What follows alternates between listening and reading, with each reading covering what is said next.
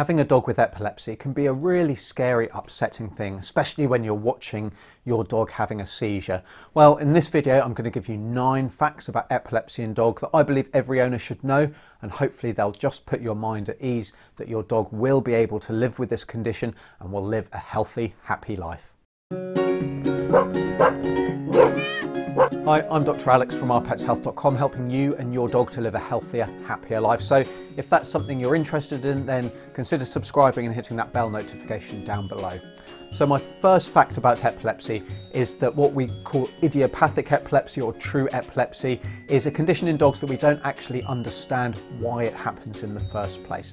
So, we don't know the underlying cause, but what the epilepsy results in is abnormal electrical activity within the brain, and it is this electrical activity which results in the seizures that we see in our pets. So despite not knowing the underlying cause, the second fact is that in some cases it does appear to be genetic, so certain breeds do seem to be more prone to developing epilepsy and certain lines as well within breeds appear to be developing epilepsy. So this is definitely something to consider if you're looking at getting a dog whose parents have had epilepsy or if you've got a young dog with epilepsy and you are wondering about whether to breed from them. The, certainly the suggestion would be that that might not be the best idea because their offspring, their puppies, may be more likely to also have epilepsy in the future.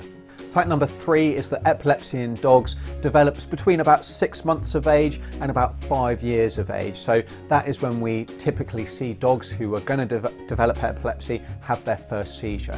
If we've got a dog who's very much younger than that, or if we've got an older dog who is having seizures, then the chances are that it's not truly epilepsy and they're fitting and having seizures for another reason.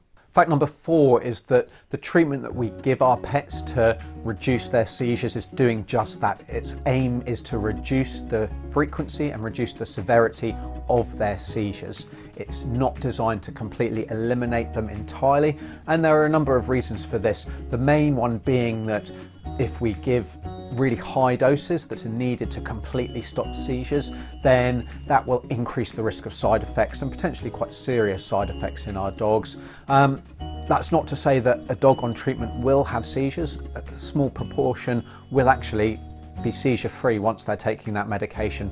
But just because your dog is on treatment doesn't mean they won't be having seizures. And if they are having the odd seizure, then that doesn't mean the treatment's not working. Now, those seizures should not be at a really high frequency and they shouldn't be too severe. So if your dog is epileptic and is having really frequent fits, or if those fits are lasting a long time, they're taking a long time to recover from, then definitely a change in treatment plan may be appropriate. But the actual presence of seizures in a dog with epilepsy who's being treated isn't necessarily anything to worry about. So step number five is that the drugs that we give to treat epilepsy in the early stages when we're starting treatment can take some time to start working. So that's something to bear in mind. And obviously your vet will discuss that with you. There are different options that we have for epileptic treatment. They work in different ways and they come at different costs and your vet will discuss with you the most likely best option for your dog and that will be based on how bad the fits that they've started to have are and how frequently they're having them. And then at number six is that depending on the drug that's being given, very often at the start of treatment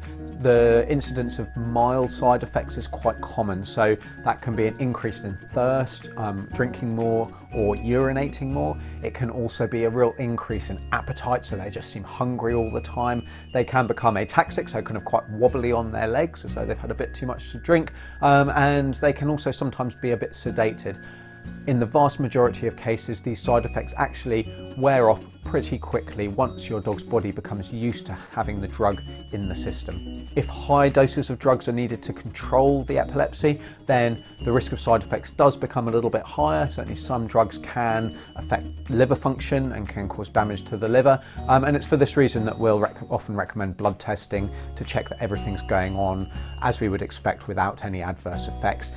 As drug dose needs to increase, it may also be that a treatment plan needs to be changed. So additional drugs may need to be given or one drug stopped and another one started. Okay, so my seventh fact about epilepsy in dogs is that seizures are actually only an emergency if they're lasting for more than about five minutes or if your dog is having several seizures in a row and they're not really recovering properly in between those seizures. So those are definitely emergency situations. We would term that um, status epilepticus, which is basically the, the electrical activity in the brain has got to such an extent that it will potentially start to cause some damage. But a short fit, the vast majority last maybe between 30 to 60 seconds, maybe up to a couple of minutes. And that seems like an awful long time when you're there watching your dog. It can be very upsetting, but if the seizure is only lasting that short length of time, then it's not a true emergency. Now, if you're wondering how you can help your dog when they're having a seizure, I've actually done a separate video about that that I'll link up here and down in the description as well.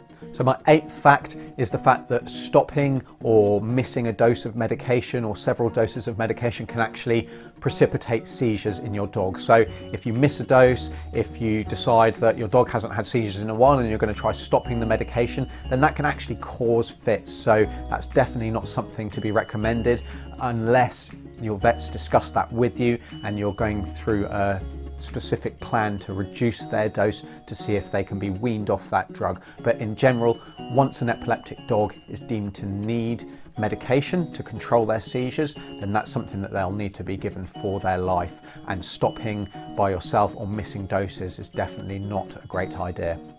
And then my last fact about epilepsy in dogs is the fact that when surveyed, the vast majority of owners consider that their dog still has an excellent quality of life. And this is really important. So very often when epilepsy is diagnosed, we become anxious and worried about what their quality of life and what their lifespan is.